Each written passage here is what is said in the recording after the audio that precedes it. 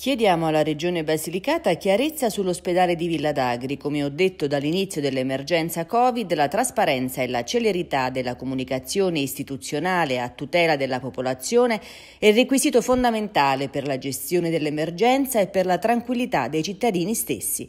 E quanto dichiara il vicepresidente del Consiglio regionale della Basilicata Polese d'Italia Viva, per il quale in queste settimane c'è una evidente falla comunicativa in diversi territori lucani, tra cui la Val d'Agri, rispetto alle procedure, alle tempistiche e ai luoghi dove effettuare i tamponi. In particolar modo, con l'aumento dei contagi e con lo sviluppo di importanti focolai di infezione da Covid in diversi comuni della nostra regione, non si può lasciare all'interpretazione interpretazione soggettiva o al chiacchiericcio una questione che riguarda la salute delle persone. Per questo, conclude, chiedo all'assessore Leone, al presidente Bardi e all'intera giunta regionale di relazionare sulla questione.